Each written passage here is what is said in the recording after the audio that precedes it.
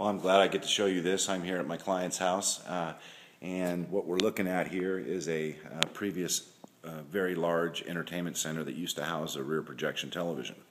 Uh, you know, and what was done here to allow a flat panel was this base cabinet was built right here to match what was previously existing uh, to give this new flat panel a, a look as if though this unit was designed around it um, without rebuilding the whole thing. So you're looking at a 60 plus inch there. I believe it's a 62 inch uh, flat panel. Turned out great. And here we're, we're dealing with, uh, we got a universal remote control base processor, uh, which is your, your master controller for the remote control, which allows all the automation to take place. Uh, we got an Xbox for the, for the grandkids. We're dealing with a Samsung Blu-ray player. This is the BDP 6500. Has all the streaming capabilities that are currently out. Uh, Netflix, Pandora, Hulu, um, Amazon, uh, shoot, you name it, it's pretty much there. And then the top of the line, uh, one of the top of the line receivers by DirecTV. This is the HR24 um, DVR. It's got a 250 gig hard drive and a really nice unit from DirecTV. Also allows multi-room sharing. And the, the main deal that powers it all here is the Marantz SR6006, which is also a multi-room uh, audio amplifier. And this rack is also an Apple TV. We also have a Netgear ProSafe router in the back and a host of other things that allow this all to work. Uh, you know, to uh, summarize the speakers, we have a complete TruAudio uh, set up front, which is the TC366 LCR ensemble. So behind these doors, you can see there's one behind each door, left, center, and right. And uh, you can see the clearance. I mean, it really turned out well. Uh, this thing really sounds great. Uh, now, as far as the sub, uh, we couldn't wire uh, the sub location where we wanted it, so we had to uh, tuck this, this speaker into the same cabinet. And considering the application, it really sounds good. so this rack uh, actually slides out, allows us to swivel it if we need to. Comes all the way out, swivels, and we could uh, maintain the rack, dust it, um, you know, every, once a year, come in and clean it out.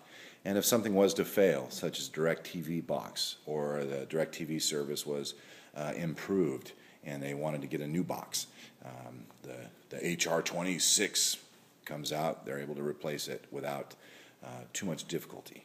Uh, you know, you're not dealing with wires that you're intertangled and uh, filled with dust and everything else. This is very modular, very simple, very clean, and it makes everything, you know, streamlined in, in the installation. It's more it's more of a complete vehicle as opposed to a bunch of pieces to a vehicle that fit, you know,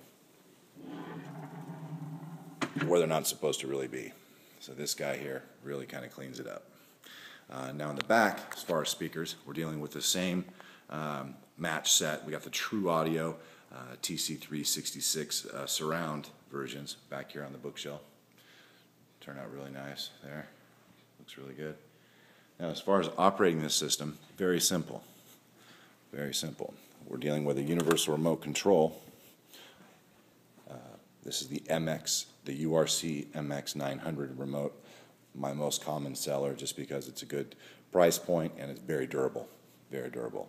Single-handed remotes are very, uh, is a smart thing to do. Two-handed remotes are a little bit difficult to use on a daily basis unless you got a big theater or something like that. These are simple. You can have it behind your head and change the channel if you wanted to. So to, to watch something, all you got to do is just turn the on button on and I've programmed this so it automatically goes to DirecTV as soon as you hit it on, hit the on button.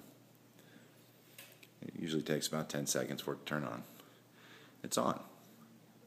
You want to watch something else, it's as simple as hitting the little watch button right there, and that's your options of what you want to watch.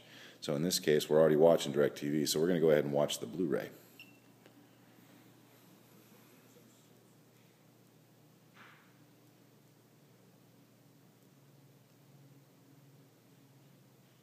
Okay, so there it is. It becomes the Blu-ray remote control. We're done watching the Blu-ray.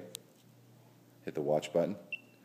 I think we want to watch um, the the Apple TV right now.